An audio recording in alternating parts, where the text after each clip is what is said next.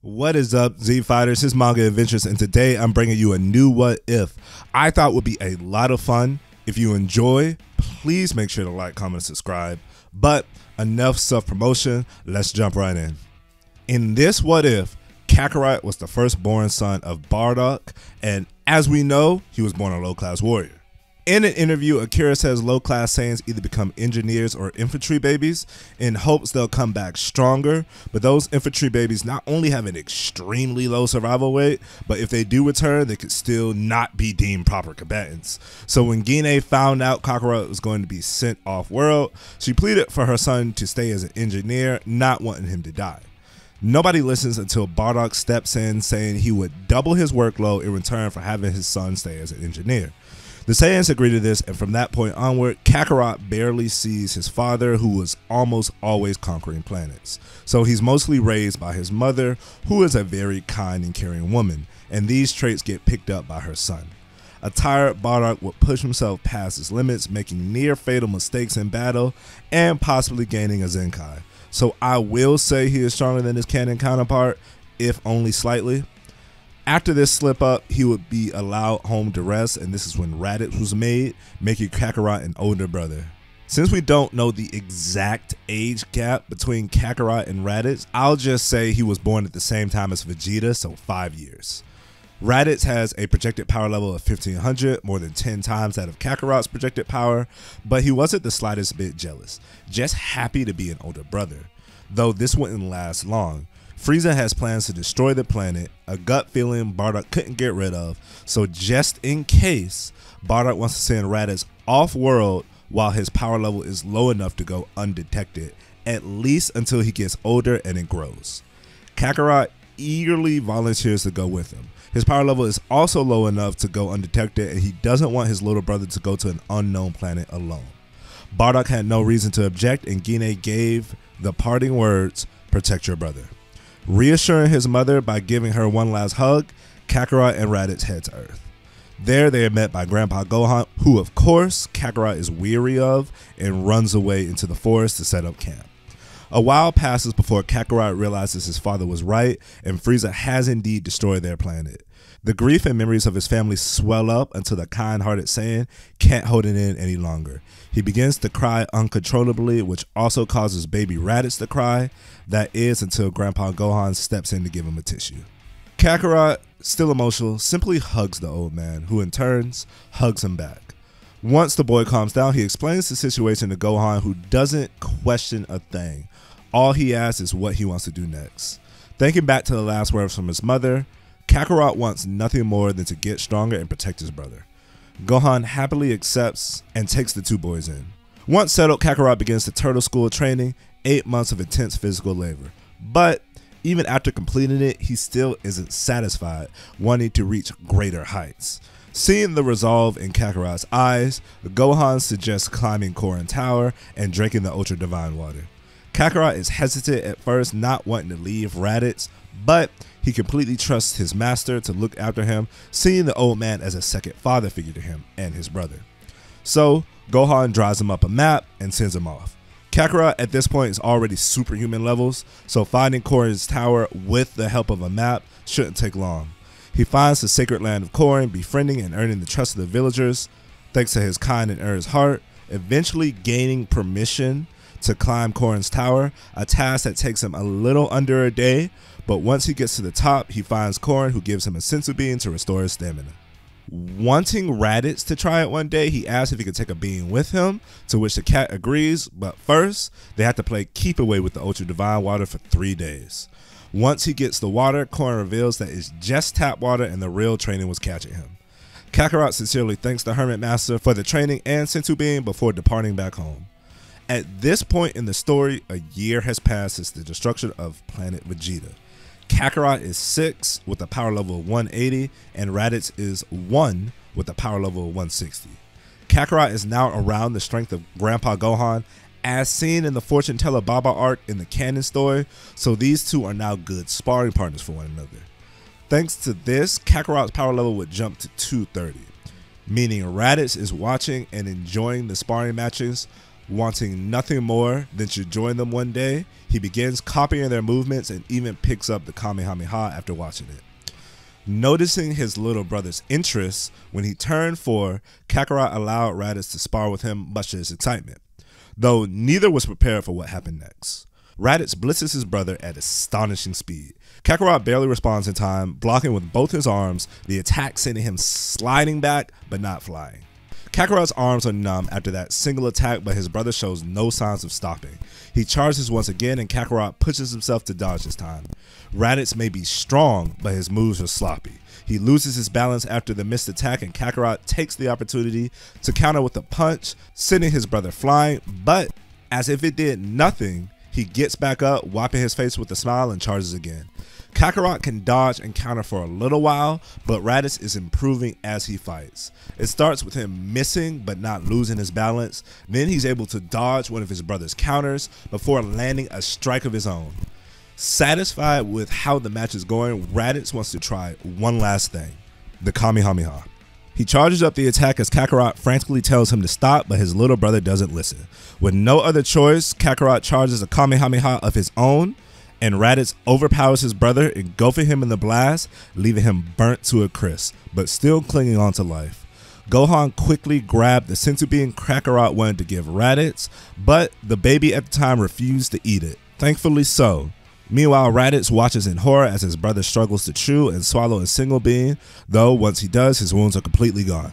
He jumps up, feeling stronger than before, not knowing he got a Zenkai, boosting his power level to 400, which is what Raditz is at right now. Kakarot, now confident of his strength, wants a rematch, but the pale Raditz refuses, simply wanting to go back inside. No one knew that this was the day he lost his drive for battle.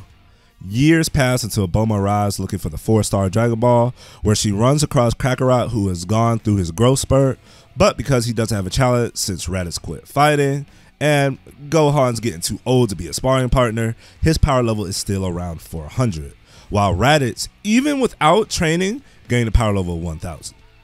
Bulma was smitten by Kakarot's appearance, but the Saiyan was more interested in her car, wanting to know how it worked because of his engineering background. As the two hit it off, Bulma explains she's looking for the magic Dragon Balls that can grant any wish. This catches Kakarot's attention, who gets extremely close to the girl's face, even bringing people back to life. He asked, and a beet red Bulma said yes. Kakarot then bows his head, pleading to accompany her on the journey. The young girl eagerly accepts the opportunity, her mind fantasizing about the two being alone together, but this is cut short when Raditz arrives.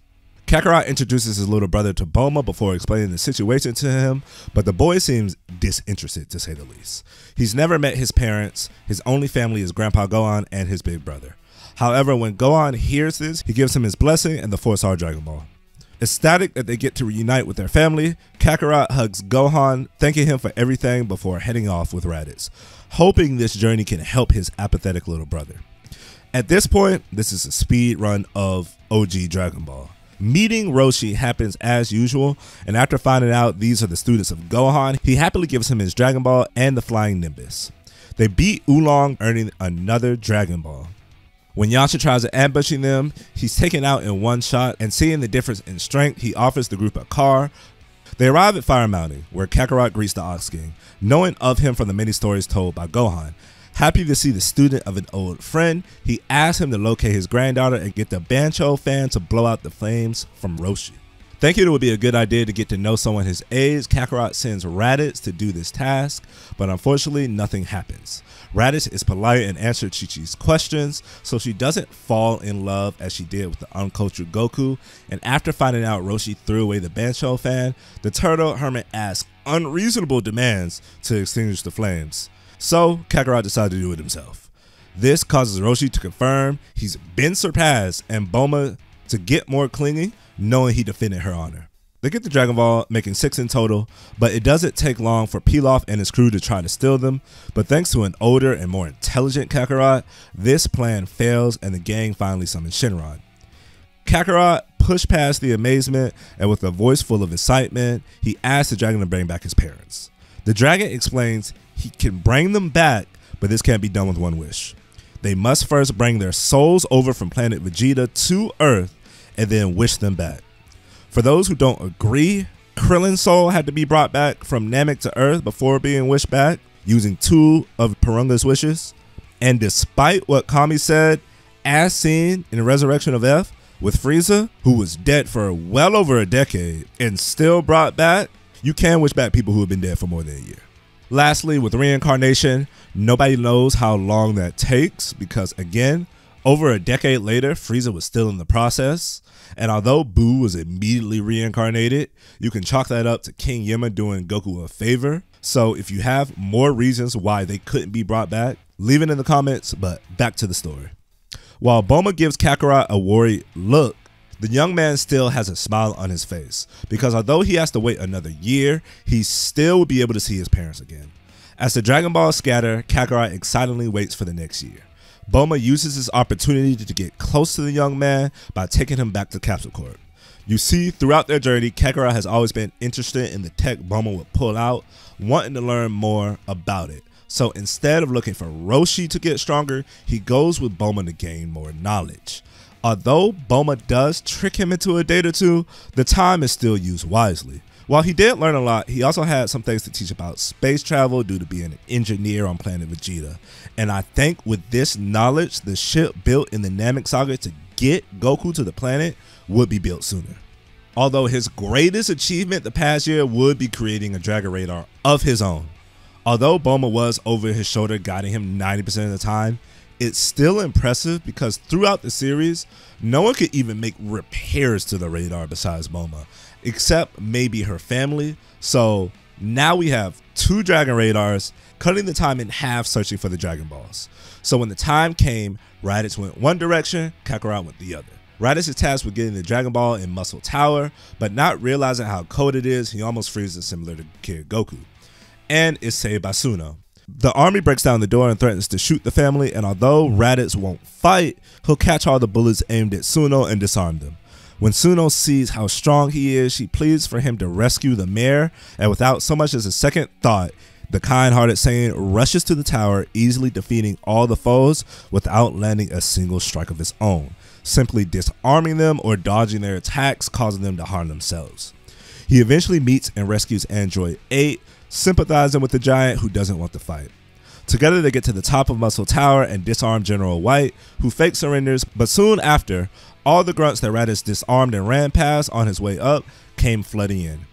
Thinking he has the upper hand, General White pulls out a hidden pistol and orders his men to fire. Raditz, not worried, prepares to brace for the attack, but Android 8 shields the boy with his body, much to the young Saiyan's surprise. When the soldiers try to reload, Android 8 charges them, taking everyone down, including General White.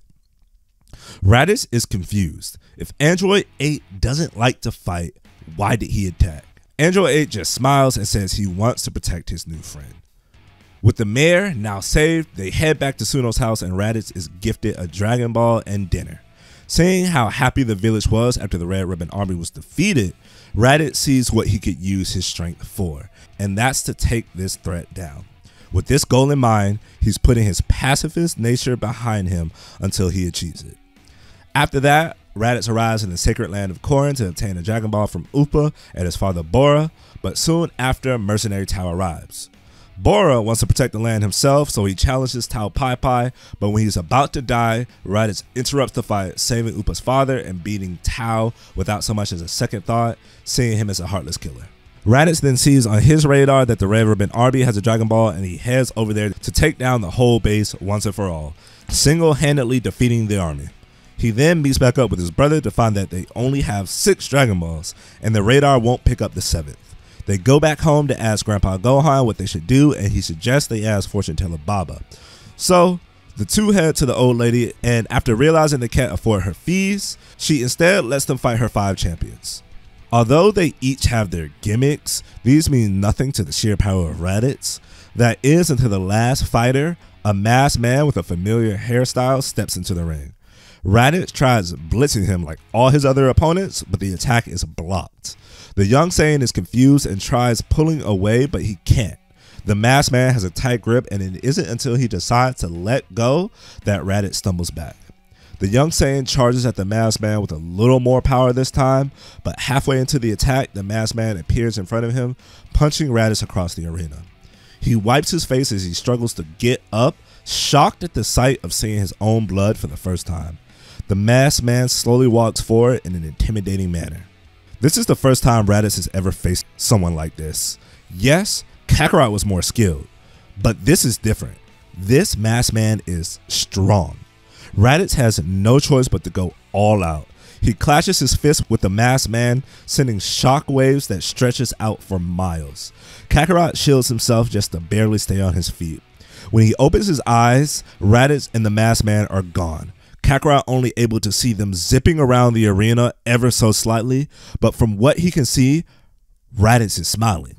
The young Saiyan's blood is boiling at the thought of going all out against someone who can actually take it. The two then reappear, each on the opposite side of the arena. The masked man charges up his ki in one hand, but Raditz freezes, his hands visibly shaking as he flashes back to his brother burnt to a crisp. Kakarot snaps him out of it, telling him not to hold back. It'll be alright. Raditz looks back at his brother and decides to believe in his words before charging a Kamehameha.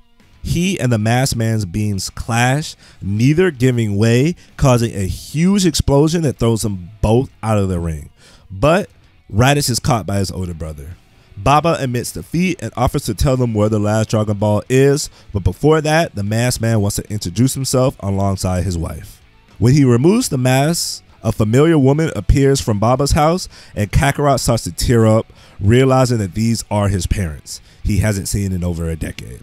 While Kakarot hugs his mother, who's proud that he was able to keep his brother safe, Bardock gives Raditz a stern nod acknowledging his strength. Baba explains that once their souls moved to Earth, she was able to bring them over for a day, and of course, Bardock wanted to test his son's strength. Although they want to quickly celebrate this happy reunion, first things first, get the last Dragon Ball from Pilaf and officially wish them back, which they do fairly quickly. When Gine comes back to life, the first thing she does is pick up Raditz, happy to see how much he's grown. Though Bardock cuts the pleasantries short. Although they're back alive, there's more work that must be done. He wants nothing more than to get revenge on Frieza for killing him, and to do that, he needs to train up his sons for the next few years. Raditz would finally grow outside his expected power level thanks to training with someone as strong as him like Bardock, and the two would grow to a power level of 1500 after a single year, Raditz only being 14. Before anyone complains, I'm using Dragon Ball Super Bardock, whose power level we don't know everything is speculation, so I put him at around 1,000. I know in the Bardock TV special after Zenkai, he was close to 10,000, but even then, no one knew his pre Zenkai strength. So Bardock's power level to me is all headcanon. Back to the story, the one who would have to train the hardest is Kakarot, since he was the weakest, starting at a power level of 400. So after a year, he would only be at 600. But even though he's significantly weaker, he still challenges his father to a one on one sparring match. Reason being, Bulma just turned 18, and he wants to ask for her hand in marriage. But before he does, he wants to prove to not only her, but his father that he can protect the people he cares about. Bulma looking for the Dragon Balls is what started everything. Not only that, he's learned so much from being with her, and she's always been supportive of his goals. And when his parents came back to life, she gave them capsules with house and food to start their new lives on Earth. Bardock accepts his challenge but says he won't hold back and he isn't lying. In the blink of an eye, he punches Kakarot as hard as he can, sending his son out of sight and leaving only the torn down trees that Kakarot went crashing through. Bardock begins to walk off, telling Gine to go get her son, but before anyone can move, Kakarot comes running towards his father at astonishing speed, launching a punch with all his might.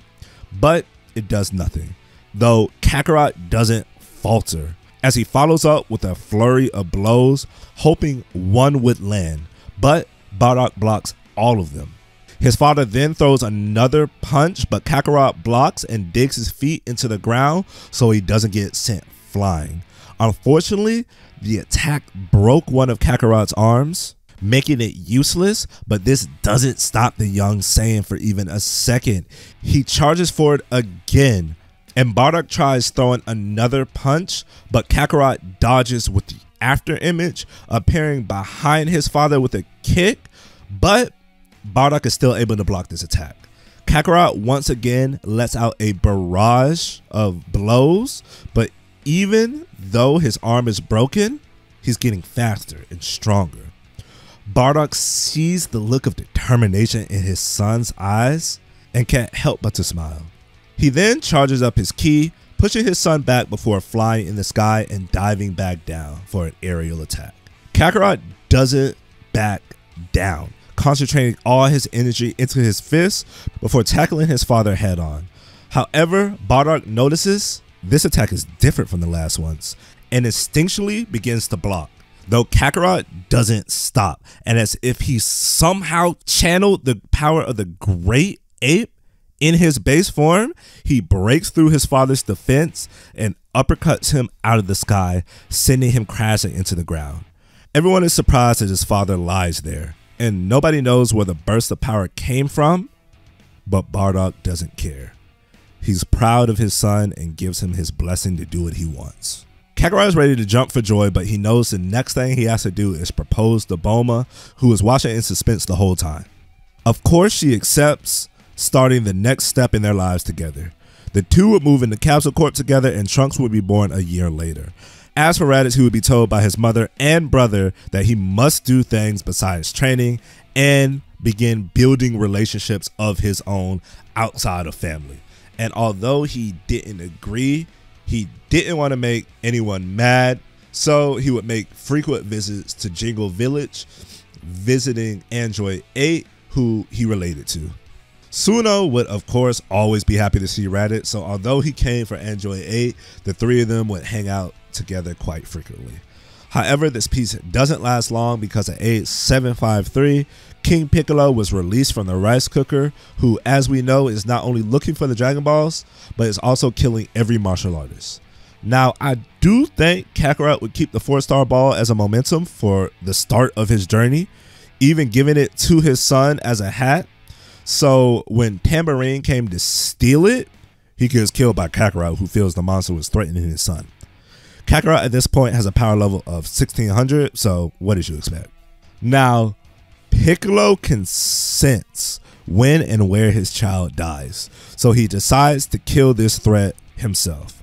But it doesn't take long for him to realize he's no match for Kakarot, so when given the chance to run, humiliated at the thought, he tries taking Trunks hostage.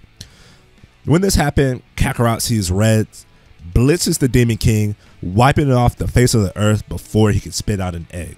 However, when this happens, the Dragon Ball on Trunks' head turns to stone. Even the Dragon Radar couldn't pick up the signal, so he goes to ask Korin to see if he knows anything, which leads him to Kami's lookout, thinking the Guardian of Earth could help. Seeing as Korin's original plan in canon was to have Goku and Piccolo take each other out and wish Goku back, I don't think he knew Kami was linked with the Demon King. So when Kakarot arrives on the lookout, he's greeted by Mr. Popo, who relates to the young Saiyan that Kami has been watching his family since they came to Earth in fear of their power, but eventually realizes that they were kind souls and is happy that they're the ones who defeated his evil side. Although this means the Dragon Balls are gone, he allows him to use the lookout to train, which should grow their power even more. Kakarot goes to tell his family this, and they all head to the lookout. Now, before they went to the lookout, Raditz and Bardock had a power level of 2400. After training for the next year and the last day going into the time chamber, with the first trip being Raditz and Bardock, and the next one being Kakarot and Bardock, Bardock using both of his trips for the sake of his sons growing stronger, their new power levels would be 46,000 for Raditz and Bardock and 35,000 for Kakarot. Though entering the time chamber with its 10 times gravity, Kakarot had an idea of making a room with even more increased gravity to further his family's training, and thus the gravity chamber was created with the help of Dr. Briefs relatively quickly. So another year of training in a hundred times gravity, the Saiyans would see another huge increase in power, with Kakarot finally catching up to his father and brother, their power levels being 230,000. And with this much power, Bardock would finally feel confident in getting revenge on Frieza. So They get some Senzu beans from Korin and fly out into space to face Frieza's army. And this is where we'll leave off part one. I really had fun writing this story because I never get too many chances to tackle OG Dragon Ball. But I kind of feel bad that this story took so long. And the reason being is it had so many changes from my original bullet points. I'm not going into every single one, but I originally had Raditz feeling superior to the people of Earth, including his brother, because he was so strong. But ultimately, I like this version better. But tell me what you guys think in the comments, how y'all would have tackled this story, including if you would have made the Saiyan stronger or weaker by the end of this part. Can't wait to read what y'all say, and I hope y'all like and subscribe so I can make a part two. But until next time, have a good one.